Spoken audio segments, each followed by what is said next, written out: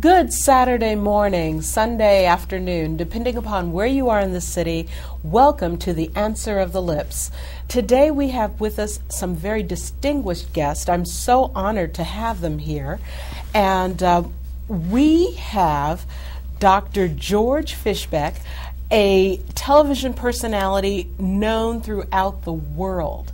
And we are also honored to have with us today Judge David S. Cunningham III uh, from the Superior Court, Los Angeles Superior Court. And he is just amazing. He he is so valuable to us as a judge, as a citizen. You're going to enjoy this show. He has done so many things, and there is a picture of him uh, that I hope we opened up with on this show. If not, we'll take another look at it before we close. And uh, Judge Cunningham, as well as serving the community, he's also rubbed elbows with President Obama. I didn't realize that until I was looking at the picture. So uh, we're just honored to have him with us today. Also, my beautiful co host is an attorney in family law, Madeleine Bryant Kambe. And uh, later on in the show, we're going to tell you about if you need a free consultation, you can call Miss Bryant Kambe here, and she'll take care of your family law matters. Um, the way we open up every show, this is from the Halls of Justice. And uh, in honor of our very, very special guest, the judge here, and uh, Dr. George Fischbeck, I want to thank you for being here. And Madeleine, thank you for helping me with this show because we've got some high powered guests. We do. Uh, we really do. We, we pray in every show very quickly just to bless the community. So, um, do you want me to pray it in or do you want to pray it in? You'll go ahead. I'm going to pray it in. Yes, you are. Oh, well, it, it, it, my mother is Pastor Vera Hubbard, and I'm going to do this in the name of Jesus for my mother. Father God, we thank you for this day. We thank you for the blessings. We hope that the community enjoys this show, Yes, and Lord. we ask that you just keep these people in the center of your hands. In Jesus' name, I love you. Amen. Amen. And uh, once again, thank you for joining us on the Answer of the Lips. Um, Dr. George Fischbeck. Let me say something right at the beginning. Okay. I'm so happy to be here. so happy. All these years I have talked to people on television. I talk to I don't like talking to people. I try to pretend that I'm talking with them, but I can't. Now here, Wanda invites me here and we have conversation. Yes. Conversation that's different than talking. I love conversation. When, when my time comes, I'm going to say, Lord, give me time for one more conversation. A permanent one. Well, Dr. George, thank you for being here. And you. it's such an honor to have you. You're known all over the world. and and with Judge David Cunningham Yes. the third, you know what's so fascinating about him? We see judges all the time on television. We have Judge Matthews, Judge Brown. We have all these people. We have this judge with us in the studio. He has a fascinating background. My God, I met him at um, Meet the Judges in Beverly Hills. And in, in March, there was an article on him in the Daily Journal that you are just really fascinating. I am so humbled. I really am. So It's great to be here. Th- thank you so much. And Supervising Judge Marjorie Steinberg, I have to give a shout out to her uh, for just, you know, just she's marvelous. And what you do, what you do, Judge Cunningham, is just uh, the way you serve the community and the way you've given of yourself is so fascinating. Well, we'll get to tell the people about that. Um, Madeleine Bryant Kambe. That's me. This woman is a fascinating family law attorney. Thank you, Wanda. And uh, once again, she's located in Thousand Oaks. If you need a free consultation, uh, give her a call. Don't talk to her for 30 minutes. You know, get get to the heart of the matter. Tell her you heard about her on uh, the Answer of the Lips from the Halls of Justice, and uh, she'll talk to you for free. And uh, God willing, she's going to help you out. Uh, Madeleine, I'm going to start off with a question for our Honorable Judge Cunningham, and I'm going to have you help me interview him because I want him to be comfortable. And uh, Dr. George, you jump in whenever you feel like it because you're special like that.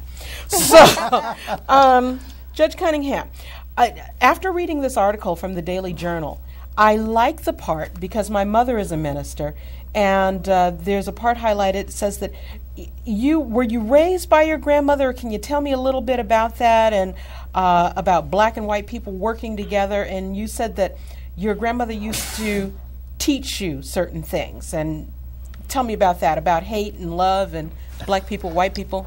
Boy, that's a mouthful. no, I, I was quite um, fortunate when, in my early life, my parents were teen parents, and they married very young. And unfortunately, like with many people, um, their marriage did not work out.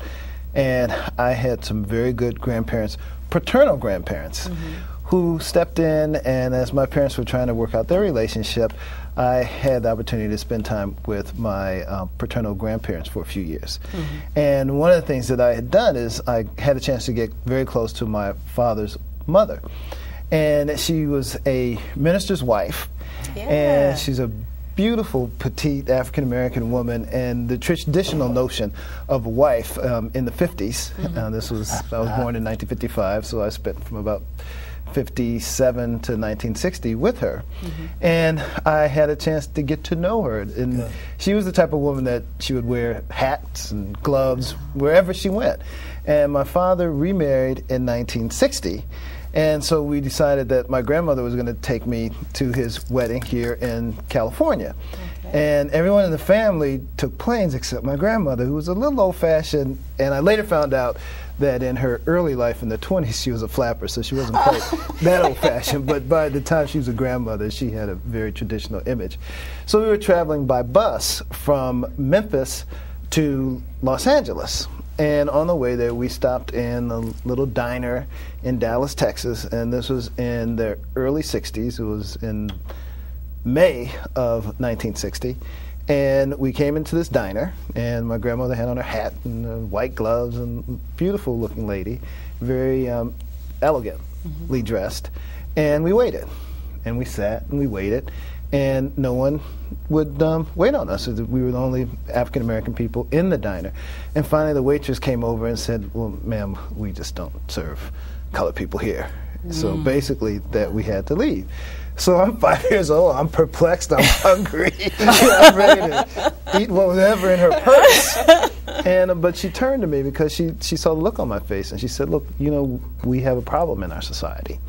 She said, "But I want you to understand that you are as good as anyone in this place. Mm-hmm. Part of the problem is race."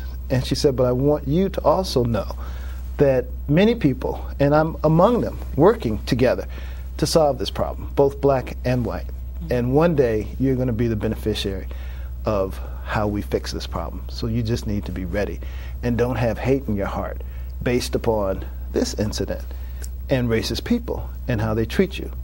And I always remembered that because it's such a, a moment that could have been a very hateful moment. We, she could have said, you know, this is terrible, and this is how white people treat black people, and this is terrible.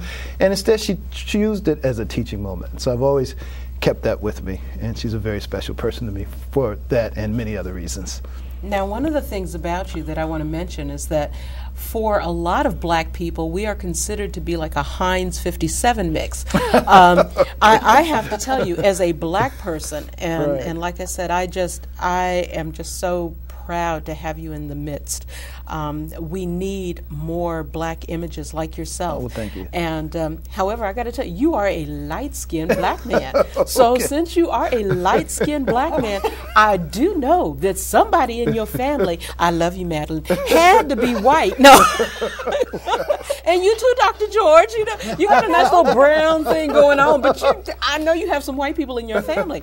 And This conversation is wonderful. we have, all, we have human beings okay. in our family. And I mean, much like the thing I love about our great nation is that it's a very diverse nation and it's got a Mm-hmm. Little bit of everyone. Yes. And I think my family is probably a good example of that. Uh, we've got European descent, Mm-hmm. African American